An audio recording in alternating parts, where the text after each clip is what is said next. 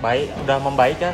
Progres juga bagus. Terus terakhir ya tanggal tanggal 12-an ya? Tanggal 12 eh, ronsen. Hasilnya bagus gitu jadi udah bisa.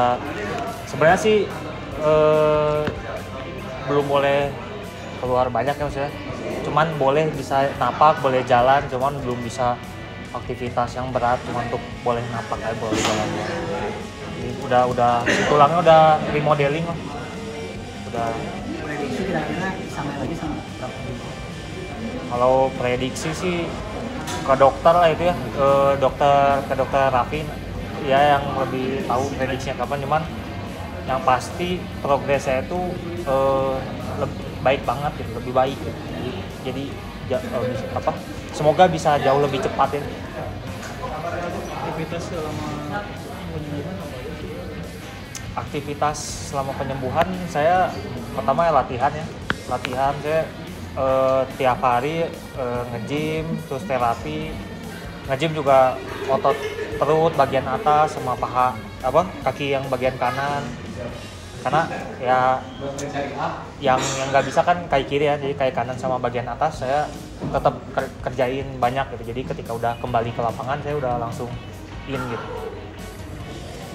Lalu kemarin pertandingan terakhir Persib lawan Persija terus kan biasa nonton atau misalkan di pinggir lapangan. Terus kemarin bisa apa eh, ngerasain sendiri nggak sih kebahagiaan di teman-teman lapangan yang bisa Iya, seneng banget karena eh apa gini pertandingan kalau big match lah bagi kita ini big match gitu.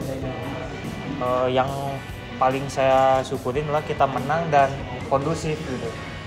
Dan ud- apa rivalitasnya tuh sebatas 90 menit yang bikin saya senang. Jadi udah kedewasaan dari supporter udah udah terbangun terus eh, dari pemain juga udah terbangun rivalitas cuma 90 menit selebihnya udah ini saya senang gitu ya.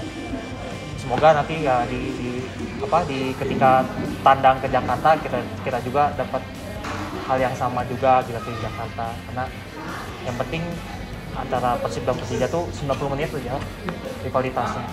Harapan lalu buat tim di putaran kedua? Uh, tetap mempertahankan uh, unbeaten tetap mempertahankan unbeaten walaupun berat tapi harus uh, saya yakin pasti bisa dan saya juga berharap saya bisa sembuh lebih cepat dan bisa kontribusi untuk tim gitu untuk mempertahankan kemenangan Benar. Ini kan eh, tadi sebutkan eh, sembuh lebih cepat ya. Perkembangannya Harapannya. lebih- enggak perkembangannya lebih cepat Ya, dari ya. perkiraan dokter gitu. Apa yang menjadi kunci dan motivasi Zalnando ini bisa cepat gitu. Bisa sembuh lebih cepat gitu. Sejauh ini. Uh, yang paling penting sih dalam penyembuhannya uh, saya pikir obat obat obat itu kan membantu ya. Tapi yang paling utama itu pikiran saya gitu. Karena uh, saya setiap harinya selalu termotivasi dan menganggap bahwa uh, saya harus bisa cepat sembuh cepat sembuh cepat sembuh. Jadi di otak emang ya badan ini kan tergantung otak ya. Kita pengen cepat sembuh ya badan akan ngikutin gitu untuk regenerasi lebih cepat gitu Ada motivasi dari pemain, pelatih atau misalnya teman-teman dekat gitu. Oh iya, ya eh, dari pelatih, dari pemain tuh semua mendukung semua orang-orang terdekat saya juga. Ya alhamdulillah eh, mensupport saya, nemenin saya.